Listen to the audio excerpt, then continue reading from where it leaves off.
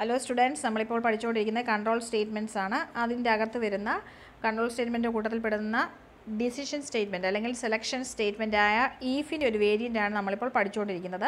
That is if else if else statement syntax ഒന്ന് നോക്കാം. If കഴിഞ്ഞിട്ട് ഒരു കണ്ടീഷൻ ഉണ്ട്. ആ കണ്ടീഷൻ സാറ്റിസ്ഫൈ ചെയ്യുകയാണെങ്കിൽ അതായത് കണ്ടീഷൻ ട്രൂ ആവുകയാണെങ്കിൽ ഈ സ്റ്റേറ്റ്മെന്റ് ബ്ലോക്ക് എക്സിക്യൂട്ട് ചെയ്യും.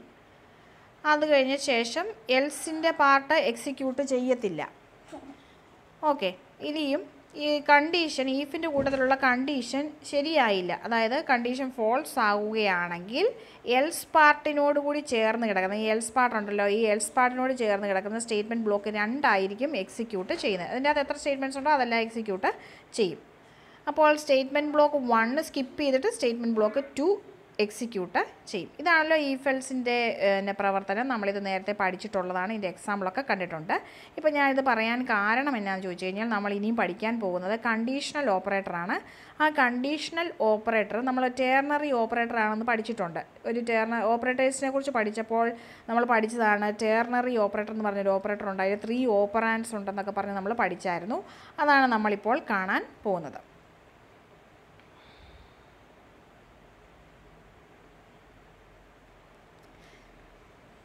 ഓക്കെ കണ്ടീഷണൽ ഓപ്പറേറ്റർ അതിന്റെ സിമ്പൽ കണ്ടല്ലോ? ഒരു ക്വസ്റ്റ്യൻ മാർക്കും കോളനൂടെ ചേരുന്നതാണ് അതിന്റെ സിമ്പൽ എന്ന് പറയുന്നത്. Conditional operator this is a ternary operator it needs three operands and it is an alternative of if else ഈ ഫെൽസീഫിന് പകരക്കാരനായിട്ട് നിൽക്കാൻ പറ്റുന്ന അല്ലെങ്കിൽ ഇ ഫെൽസ് ചെയ്യുന്ന അതേ ഫോർമാറ്റിലാണ് ഇവരും വർക്ക് ചെയ്യുന്നത്. ഇ ഫെൽസ് എങ്ങനെയാണോ വർക്ക് ചെയ്യുന്നത്?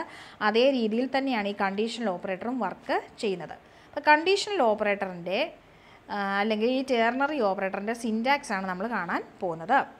അപ്പോൾ ഇതിന്റെ അകത്ത് ആദ്യമേ ഒരു ടെസ്റ്റ് എക്സ്പ്രഷൻ ഉണ്ട്. ടെസ്റ്റ് എക്സ്പ്രഷൻ എന്ന് പറഞ്ഞാൽ കണ്ടീഷൻ നമ്മൾ ഈഫിന്റെ കൂടെ ഒക്കെ കണ്ടീഷൻ കണ്ടിട്ടില്ലേ? ആ കണ്ടീഷനെയാണ് നമ്മൾ ടെസ്റ്റ് എക്സ്പ്രഷൻ എന്ന് പറയുന്നത്. ടെസ്റ്റ് ചെയ്യുക പരിശോധിക്കുക ടെസ്റ്റ് ചെയ്യുക കണ്ടീഷനൊക്കെ ടെസ്റ്റ് ചെയ്യുന്നത്.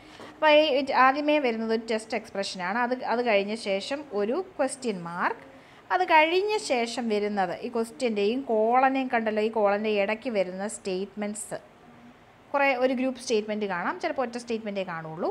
പിന്നെ കോളൻ കഴിഞ്ഞിട്ട് വേറെ ഫോൾസ് കോഡ് അല്ലെങ്കിൽ അവിടെ കുറച്ച് സ്റ്റേറ്റ്മെന്റ്സുകൾ കാണാം. അപ്പോൾ ഇത് സ്റ്റേറ്റ്മെന്റ് ബ്ലോക്ക് വൺ ആണ്. ഇത് സ്റ്റേറ്റ്മെന്റ് ബ്ലോക്ക് ടു ആണ്.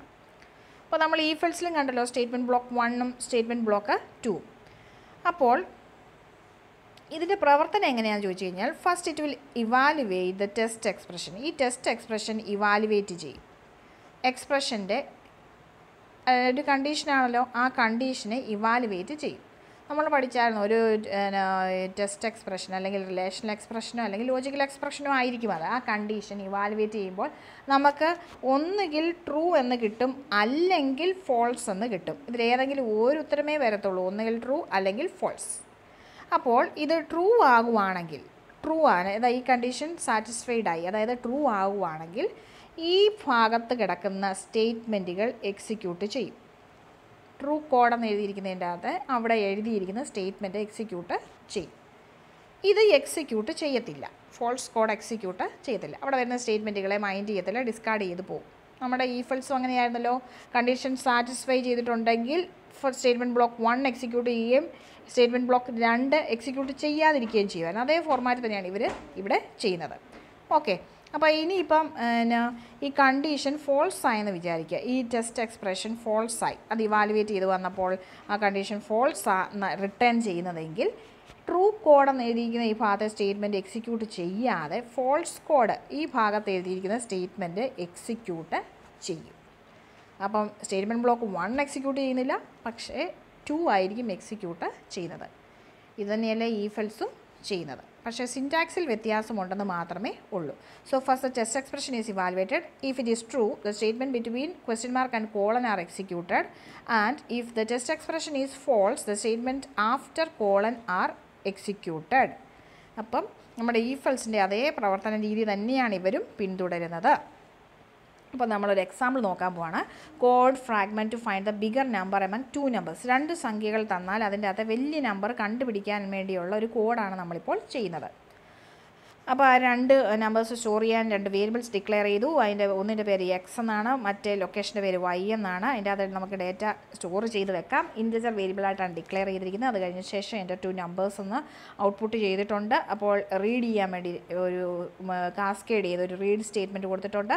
അപ്പോൾ നമ്മൾ വാല്യൂ സപ്ലൈ ചെയ്യുമ്പോഴത്തേന് ഇപ്പം ഞാൻ അഞ്ച് പതിനഞ്ച് എന്നാണ് ഇൻപുട്ട് ചെയ്തിരിക്കുന്നതെങ്കിൽ അഞ്ച് എക്സിന് കിട്ടും പതിനഞ്ച് വൈക്കും കിട്ടും. ഓക്കെ അപ്പോൾ ഇതിന്റെ അകത്ത് വലിയ സംഖ്യ ഏതാണെന്ന് കമ്പ്യൂട്ടറിനെ കൊണ്ടല്ലേ ഈ പ്രോഗ്രാം പറയണം. അപ്പോൾ അതിന് നമ്മൾ കോഡ് എഴുതിയിരിക്കുന്നത് എങ്ങനെയാണെന്ന് നോക്കിയേ? X greater than Y this is a condition X വൈയെക്കാട്ടിൽ greater ആണോ?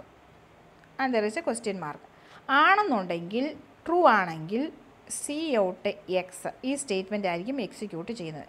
എക്സ് വൈയെക്കാട്ടിൽ വലുതാണെങ്കിൽ നമുക്ക് എന്താ ചെയ്യേണ്ടത്?